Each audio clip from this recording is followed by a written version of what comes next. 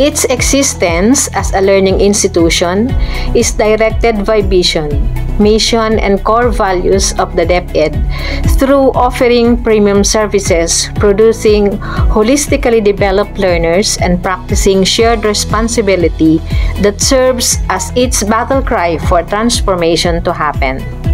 Tagkawayan District 2 has established its prestige not only within the division but regional and national level as well. This was made possible through the able leadership of the school administration and the concerted efforts of principals, school heads and the teachers, learners, parents, and other stakeholders for the school year 2020-2021. Tagkawayan District 2 accomplishments and achievements were found by making it one among the performing school in the division. I am Alicia V. Gonzalez, PSDS of Tagkawayan District 2, proudly presents the Mid-Year Program Review and Performance Appraisal to ensure the delivery of efficient and effective basic education in the new normal and to improve the curriculum implementation in all learning areas, the seven banners of CID lights were executed within the district. KRA 1 Instructional Supervision and Learning Delivery, ensuring the actual implementation of the actual mission in Tagkawayan District 2, instructional supervision, technical assistance provision, and monitoring evaluation of curriculum delivery are being done in the district armored with the seven division banner programs of CID Lights, the district adopted Project Shine to improve the performance level of school heads. To capacitate school heads' competence on instructional supervision in order to enhance their competence in the delivery of instruction, here are my supervisory accomplishment reports. District validation of SBM levels of practice that aims to give technical assistance to school for improved operationalization of the BELCP. Quarterly validation of the division project 2 and AIP to recognize schools' best practices where the district selected three schools as best implementers. Gender and Development District Meeting and awarding of schools GAD coordinators. 5 ELLN LAC sessions to improve teachers' capacity to teach and to assess early reading and numeracy skills in K-3 levels. District validation of annual improvement plan and work financial plan. In-service training for teachers that aims to further expand teacher skills and knowledge on different digital teaching materials, systems, and approaches that are useful in delivering quality instruction under new normal approach. District presentation of school monitoring and evaluation plan adjustment to track implementation and output systematically and measure the effectiveness of programs. Virtual validation of SBM LOP where Bukal Elementary School and Tagkawayan National High School were the two schools being validated as they categorized level 2 maturing as their SBMLOP. With activities presented, technical assistance was given to school heads in order to enhance teachers' educational performance and competence in the delivery of instruction. 100% of preschool's participation was recorded. As to teachers' profile of Tagkawayan District 2, it has a total of 341 teachers. In terms of length of service, 58 have already rendered for 3 years, 135 for 4 to 10 years, 148 already served for more than 10 years. As regards to educational attainment, 102 teachers obtained bachelor's degree, 226 obtained bachelor's degree with masteral units, 53 already finished their master's degree, 10 are taking up their doctoral units, and 2 already finished their doctoral degree. For the trainings attended, 300 teachers participated in the district level, 240 in the division, 89 in regional and national level, and 40 international level. For KRA2 Learning Resources, Project Spark of the Seven Banners, which provides learning resources that understand various instructional and professional development needs of both teachers and learners. Our district acquired five duplicator copying machines bond paper, ink, and other related materials needed for the reproduction of SLMs, and activity sheets of the learners from the SEF budget. Teachers also crafted localized materials. It was unveiled through different programs and projects initiated by different schools like Silid Aklatan sa Barangay, which aims to provide access to supplementary materials. To improve learning outcomes of our learners, Project Dream is made by giving localized reading materials with comprehension suited on their reading ability per week and assessing the comprehension levels.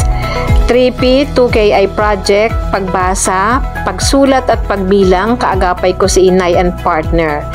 And yours truly lead the development and evaluation of the school-based localized materials for primary grade levels. And for this to happen, teachers undergo capacity building program like LAC session, webinars, and trainings relevant to teaching strategies to improve instruction. Utilization of the materials were monitored to check the progress of the learners and as a result, there is a significant increase in the number of readers in our district. KRA 3 Learning Assessment Well-designed assessment can encourage active learning especially when the assessment delivery is innovative and engaging. For learning assessment, schools program on classroom-based assessment, intervention and remediation with readers and numerates, and MPS in eight learning areas was monitored every quarter for continuous improvement of learners' performance. All schools within the district were monitored in terms of implementation of PAPs relative to learning outcomes based on AIP. Moreover, results derived from utilization of standardized monitoring tool were analyzed and interpreted. Best practices were monitoring of learners' performance through home visitation and via social media, like sending videos or chat in Messenger. A scheduled meeting with the school heads for update reporting on issues and concerns with the printed modules and results of learners' activity sheets done, and monthly coordination with parents and guardians.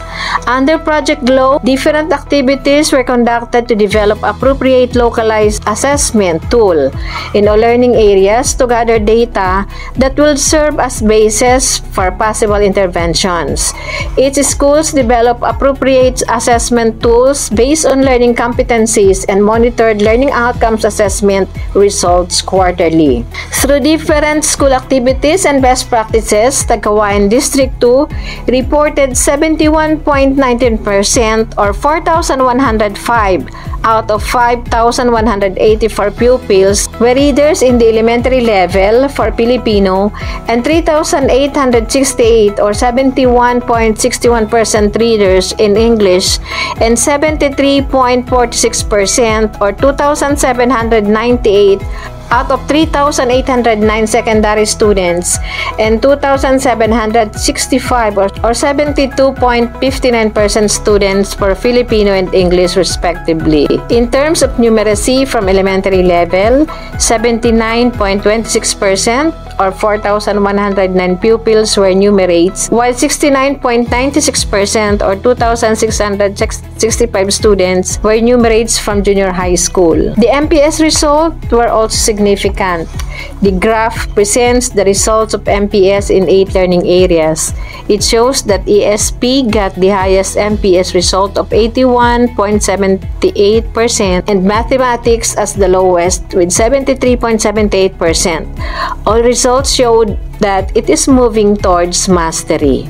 KRA 4 Research When it comes to research, Project Bright was introduced to prepare and utilize researches to attain 5% improvement in learners' performance. In our district, we conducted research plenum and seminar on action research to address the needs and issues and provided appropriate interventions. During the said plenum, there were 59 approved titles and 19 proposals were technically assessed. Also, there were five research proposals that was submitted to BERF. In addition, teachers engaged themselves to professional activities that will further hone their potential, all for the sake of school growth and development.